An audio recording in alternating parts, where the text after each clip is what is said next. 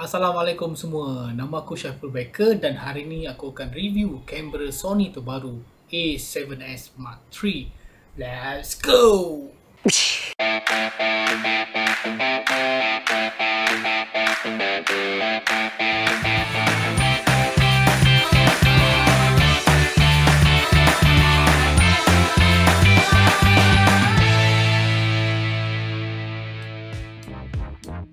tahu korang semua sangat excited dengan pelancaran kamera A7S Mark III Memandangkan kamera ni baru sahaja diumumkan Aku minta amat banyak sebab aku tidak memiliki kamera ni lagi. Tapi jangan risau, walaupun aku tak ada kamera ni InsyaAllah segala feature, segala uh, point-point mengenai Alpha 7S Mark III Ada dalam poket aku yang semakin mengering ni. Sony baru sahaja melancarkan kamera A7S Mark III Di mana ianya menggantikan kamera A7 II yang berumur sudah hampir 5 tahun. Jadi kebanyakan videografer yang menggunakan Sony mirrorless camera memang menginginkan uh, pengganti kepada Alpha 7S Mark II ni di mana ianya sudah lama dan tidak updated dengan feature-features ataupun uh, recording mode yang terbaru. Sekiranya anda masih baru dengan produk line-up daripada Sony mirrorless, mungkin anda semua tidak faham susun atur produk line up untuk kamera Sony. Kamera Sony terbahagi kepada empat kategori.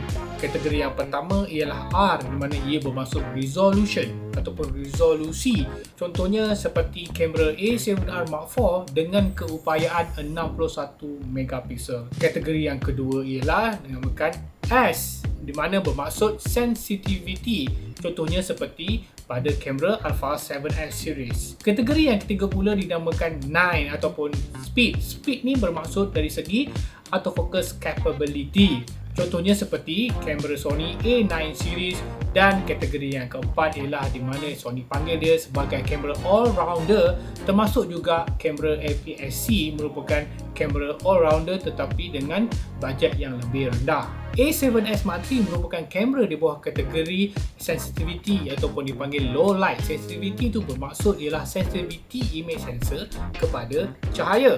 Basically, A7S dengan 12 megapiksel, uh, all-rounder dengan 24 megapiksel, speed tetap juga dengan 24 megapiksel, manakala R kebanyakannya uh, menggunakan megapiksel yang tinggi seperti 42 megapiksel dan juga 61 megapiksel.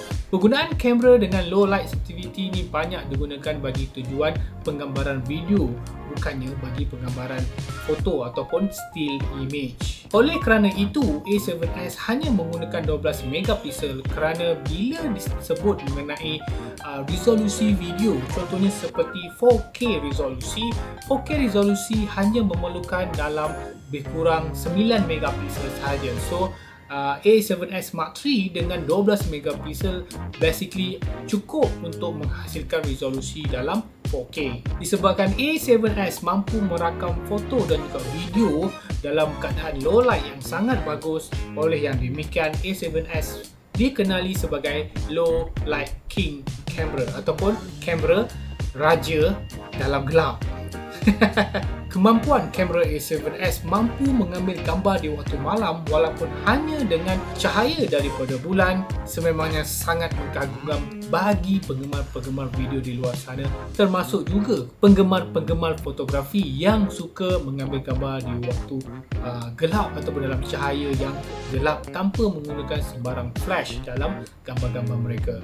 Tak perlu aku bercerita secara terperinci spek A7S Mark III ni kerana di internet sudah terlalu banyak uh, website-website YouTuber-YouTubers yang bercerita yang menerangkan mengenai spek kamera A7S Mark III. Walau bagaimanapun, biar aku ceritakan sekali lalu secara pantas spek mengenai A7S Mark III. A7S Mark III menggunakan 12 megapiksel dengan teknologi image sensor terbalik ataupun back illuminate structure. Image sensor sudah terbina 5 axis in body image stabilization, kemampuan autofocus yang sama dengan kamera mirrorless Sony seperti A7R Mark IV dengan features eye autofocus, animal eye autofocus dan juga real time tracking. Dan yang paling utama ialah A7S Mark III mampu record video dengan kemampuan maksimum 4K 120p All Intra dan juga 240p dalam resolusi Full HD. A7S Mark III juga mampu merekod video dengan format HAVC High Efficiency Video Recording ataupun H.265 di mana video file ini lebih kecil dengan data sama seperti mana H.264. Kemampuan merekod video 60p secara ProRes RAW dengan compression 16 bit menggunakan monitor recorder daripada Atomos Ninja V. So dengan spek-spek yang aku bagi tahu ini semua terhasil dengan prosesor terbaru daripada Sony dipanggil Sony Bionz XR. Selain daripada tu, Sony A7S Mark III juga memperkenalkan menu sistem, menu susun atau menu yang baru berbanding dengan menu-menu kamera mirrorless model daripada Sony yang lain berserta mempunyai saiz HDMI yang lebih besar, EVF yang baru dengan resolusi lebih daripada 9 juta serta sesuatu yang sangat-sangat dinantikan oleh uh, kebanyakan pengguna-pengguna Sony iaitu kamera yang boleh dipusing ke sisi berserta full touch screen walaupun pada menu kita boleh menggunakan touch screen. Okey, kita kembali kepada topik utama. Berbaloi ke kamera A7S Mark III ni? Itulah persoalan yang aku ingin bincangkan dengan korang semua hari ini. Melihat kepada spek A7S Mark III, kamera ini pasti menjadi kegilaan kepada mereka yang suka merekod video. Perkara yang paling banyak diperkatakan di media ataupun di internet, di social media dan macam-macam lagi ialah mengenai keupayaan A7S Mark III mampu merekod video dalam resolusi 4K 120p. Korang boleh cakap, eh lah kamera lain pun boleh juga record 4K 120p kan? Contoh seperti kamera terbaru daripada Canon iaitu EOS R5 di mana ia mampu merekod video dalam resolusi 4K 120p berserta 8K. Panasonic S1H contohnya mampu merekod video 4K tapi hanya dalam resolusi 60p sahaja. Jadi persoalannya sekarang, apa yang best dengan A7S Mark III? Kalau nak dibandingkan A7S Mark III dengan kamera-kamera brand lain, terdapat tiga perkara di mana A7S Mark III lebih baik berbanding dengan kamera-kamera lain. Yang pertama ialah A7S Mark III tidak mempunyai masalah overheat seperti mana yang diperkatakan pada kamera uh, Canon. Walaupun perkara ini masih lagi debatable melalui dengan pelbagai review, banyak yang mengatakan bahawa A7S Mark III tidak mempunyai sebarang overheat issue pada kamera yang telah mereka gunakan. Rekan A7S Mark III masih mengekal dengan saiz yang compact dan juga ringan, tidak seperti S1H daripada Panasonic di mana ia belum meletakkan kipas pada kamera dan menyebabkan saiz kamera menjadi besar dan juga berat serta tidak mempunyai weatherproof yang baik. Selain daripada tu, A7S Mark III memang terkenal dengan low light capability sekiranya hendak dibandingkan dengan mana-mana kamera brand lain sudah pasti tiada yang mampu melawan low light capability daripada A7S Mark III. Bagi kebanyakan kamera-kamera Sony yang sebelum ni, 120p hanya boleh direkod menggunakan menggunakan resolusi Full HD sahaja di mana aku sendiri bila membuat video mengenai slow motion aku tidak mampu membuat video dalam keadaan 4K punya resolusi kerana 120p hanya ada pada Full HD resolusi. Penggunaan slow motion ataupun gerak perlahan memang sangat popular Uh, terutama bila kita hendak memasukkan dalam istilah dipanggil B-roll kepada mereka yang shoot video untuk wedding kepada mereka yang mungkin shoot video untuk highlight sesuatu majlis ataupun dalam video dokumentari semestinya penggunaan gerak perlahan memang sangat-sangat diperlukan. Kelajuan internet di dunia termasuk di Malaysia walaupun tak adalah laju mana sangat semakin lama semakin laju Netflix sudah memperkenalkan 4K YouTube sudah memperkenalkan 4K Facebook juga sudah ada 4K cuma Instagram masih ditakut yang lama resolution yang sangat-sangat rendah lagi okay?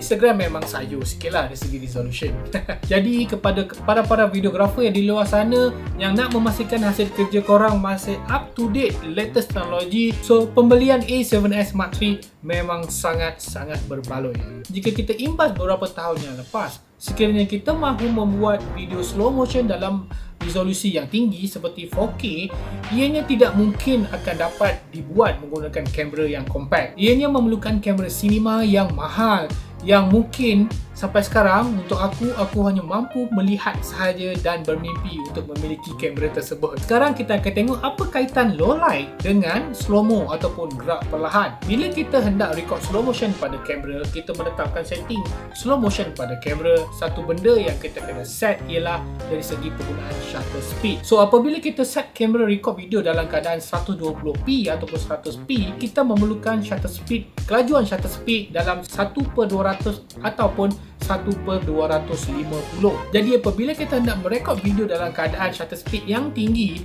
dan mungkin keadaan lighting yang tidak berapa terang di situlah di mana A7S Mark III akan menang berbanding dengan kamera-kamera lain. A7S Mark III yang hanya menggunakan 12 megapiksel dengan ISO capability yang boleh mencecah sehingga 1 juta di mana native hanya 409,000 ia mampu membuat slow motion dalam keadaan shutter speed yang tinggi dan hasil video yang lebih clean yang akan terdapat pada video yang korang recordkan tu. Dan apa yang paling menarik dengan A7S Mark III ni, dia menggunakan back illuminate structure di mana image sensor BIS dikatakan mampu mengambil cahaya dua kali ganda berbanding front illuminated structure. Contohnya seperti kamera A7S Mark II yang ter terdahulu daripada Sony. Ini membuatkan kamera A7S Mark III mempunyai versatility yang lebih baik berbanding kamera-kamera lain di luar sana. Okey, bila kita bercakap mengenai penggunaan kamera bagi pengguna-pengguna profesional, pasti tidak lekang bagi mereka merekod video dalam keadaan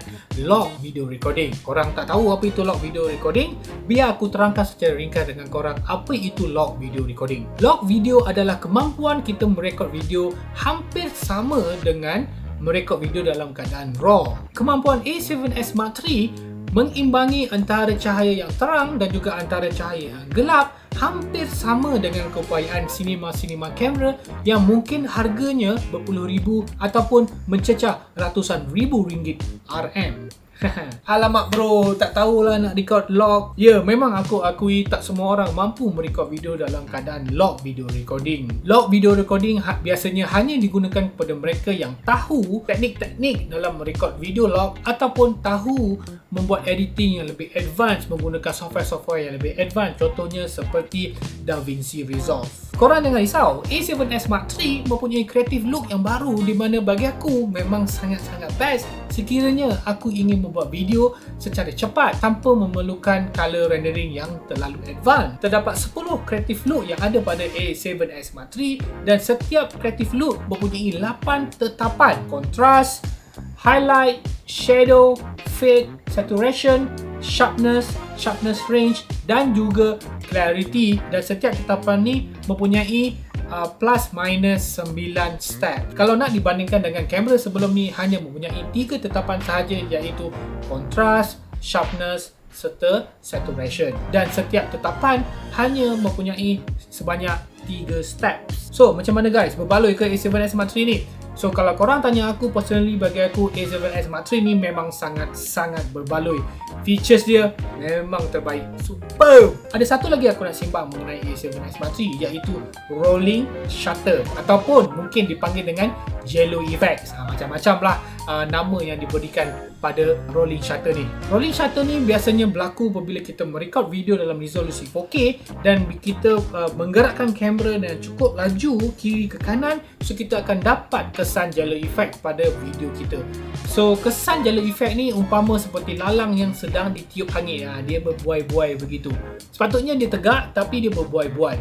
So kenapa? Apa yang menyebabkan perkara ini berlaku. Ianya berlaku disebabkan oversample data yang terlalu tinggi dan juga prosesor yang tidak mampu memproses semua data itu secara serentak. So inilah yang menyebabkan yellow effect ataupun rolling shutter. So dalam video yang korang tengok ni, korang dapat tengok sendiri yang A7S Mark III berjaya mengurangkan masalah rolling shutter hampir 3 kali lebih baik berbanding model yang sebelum ni. Okey, rasanya sekarang aku nak bercerita pula mengenai kemampuan A7S Mark III untuk mereka yang suka mengambil gambar bukannya mengambil video. Kamera A7S series merupakan kamera yang tidak popular bagi kalangan fotografer di luar sana. Salah satu sebab ialah kerana megapiksel A7S Mark III yang tidak terlalu tinggi. Kalau nak dikatakan mengenai still photos, kebanyakan fotografer di luar sana memang sudah selesa dengan kemampuan megapiksel uh, melebihi 20 megapiksel. Kebanyakan kamera Sony menggunakan at least sekurang-kurangnya 24 megapiksel dan pada A7R series ia mampu menghasilkan sampai 61 megapiksel. So apabila pengguna still fotografer fotografer menggunakan A7S Mark III ataupun A7S Mark II bagi tujuan gambar, gambar tu tak berapa nak um sangat sebab bila kita zoom dia tak boleh pergi jauh, dia cuma boleh sikit je. Dan juga bila kita ambil gambar tu kita playback, bila kita zoom, kita nak crop, dia kurang rasa puas eh? Dia kurang rasa puas. Tetapi kalau korang tanya aku 12 megapiksel bagi aku dah cukup untuk aku ambil gambar. Kalau korang tengok kebanyakan-banyakan gambar di social media 8 megapiksel basically sudah mencukupi untuk menghasilkan gambar yang boleh buatkan korang wow dengan gambar-gambar yang aku hasilkan. Contoh seperti gambar burung yang aku hasilkan ni. Kalau korang nak tahu gambar ni hanya bersaiz dalam 3 megapiksel sahaja. Dan juga kadang-kadang tu kan bila aku ambil gambar menggunakan kamera A7R Mark IV dengan 61 megapiksel dan bila aku share online, korang tak nampak bezakan sama ada gambar yang aku ambil tu menggunakan 61 megapiksel ataupun 24 megapiksel even ataupun aku menggunakan 12 megapiksel. Memang tak boleh nampak perbezaannya. Even kalau aku share gambar tu di Flickr memang takkan nampak hasil pure 100% daripada 61 megapiksel melainkan kalau aku print gambar tu ataupun korang tengok file asal daripada gambar tu barulah korang dapat rasa 61 megapiksel daripada gambar yang aku hasilkan tu. Kemampuan A7S Mark III dengan ISO yang tinggi walaupun korang mengambil gambar dalam result dengan ISO 12800 gambar yang korang hasilkan tu masih lagi berkualiti tinggi dan percayalah korang masih lagi print dan korang share. Tak siapa pun tahu yang korang menggunakan ISO sebanyak 12800 itulah kelebihan A7S Mark III di mana low light capability A7S Mark III memang tidak dapat ditandingi oleh mana-mana kamera di luar sana. Ok cukup aku bercerita tentang spek A7S Mark III so sekarang aku nak bercerita pula mengenai rekaan A7S Mark III seperti yang aku telah beritahu awal-awal di video ni aku dah beritahu yang aku tak ada A7S Mark III tetapi A7S Mark III dimaklumkan mempunyai rekaan hampir sama dengan A7R Mark IV dan juga sama dengan A9 Mark II so bila melihat gambar-gambar di internet dan juga official daripada Sony A7S Mark III mempunyai rekaan yang sama dengan A7R Mark IV dan juga A9 Mark II Penggunaan bateri yang sama, rekaan butang pun sama. Ini memang bagus kerana A7R Mark IV dan A9 Mark II memang sedap dipegang. Jadi, secara remusannya, berbaloi ke A7S Mark III ni untuk dimiliki? Bagi aku personally, absolutely yes. Memang berbaloi. Aku dah bercerita banyak pasal A7S Mark III. So, sekarang aku nak bercerita sesuatu yang mungkin tiada kaitan dengan dengan kamera tetapi berkaitan dengan komputer. Bila kita dah record video dengan resolusi 4K 120p, kita dah record video dengan resolusi yang tinggi, komputer kena power. Komputer kena juga match dengan performance pada A7S Mark III ni. Kalau korang baru tengok video aku yang baru-baru ni, aku baru saja upgrade aku punya PC system. Okay, so aku rasa itu sahajalah video aku kali ini. Terima kasih banyak-banyak sebab menonton dari mula sampai habis. Terima kasih juga kerana korang tekan butang subscribe. Tekan, dah tekan belum? Tekan butang subscribe dan semoga kita berjumpa lagi di video akan datang. Assalamualaikum and bye-bye.